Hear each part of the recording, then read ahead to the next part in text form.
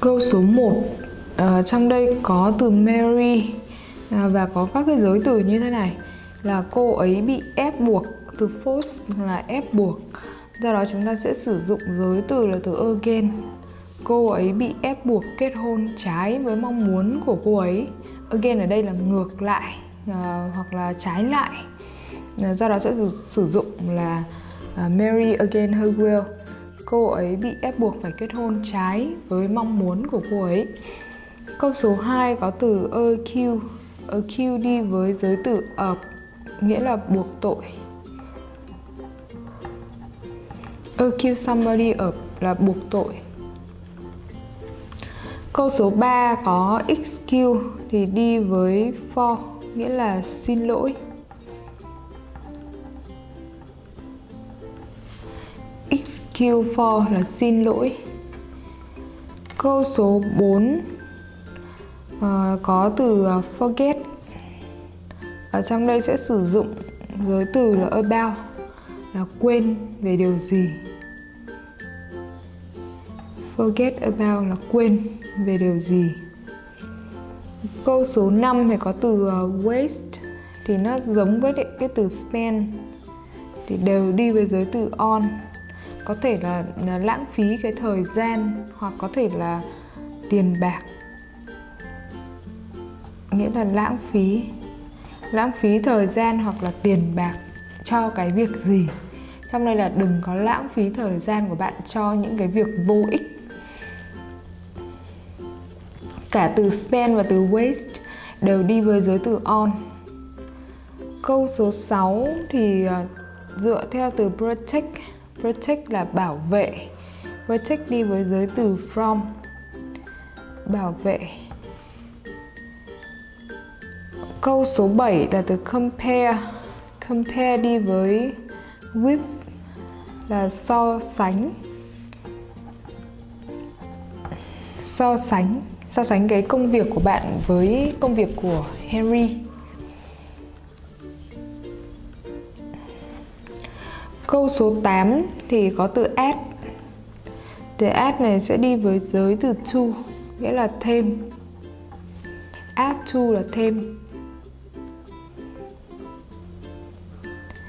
Câu số 9 là từ remind somebody of, Nghĩa là gợi nhớ ai đó về điều gì. Gợi nhớ ai đó về điều gì. Câu số 10 là prevent from, nghĩa là ngăn cản. Prevent from, ngăn cản. Điều gì đã ngăn cản việc bạn đến sớm hơn? Câu 11 có từ congratulate đi với on, nghĩa là chúc mừng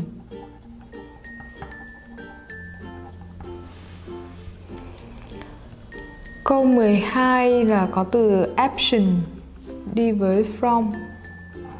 Absent from là vắng mặt. Tại sao bạn lại vắng mặt vào ngày hôm vào buổi học ngày hôm qua?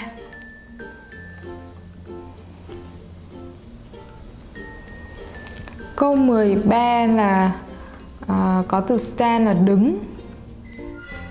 À, đừng có đứng với tay để ở trong túi quần.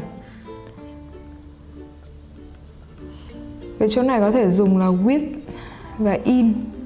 Stand with your hand in your pocket. Thì trong đây nó là theo cái nghĩa của giới từ. Từ with là với và từ in là ở trong. Đừng có đứng mà à, với cái tay để ở trong túi quần.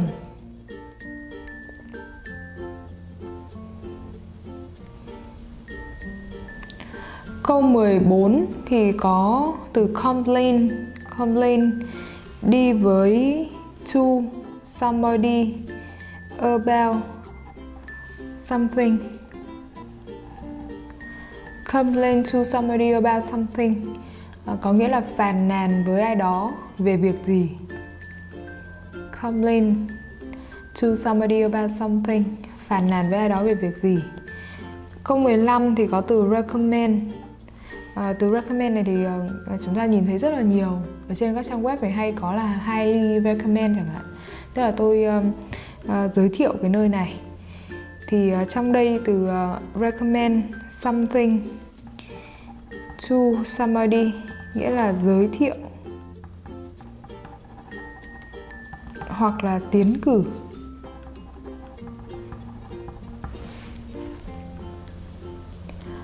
Với phần uh, cụm động từ và giới từ này thì uh, chúng ta nên uh, tải cái phần uh, Word về.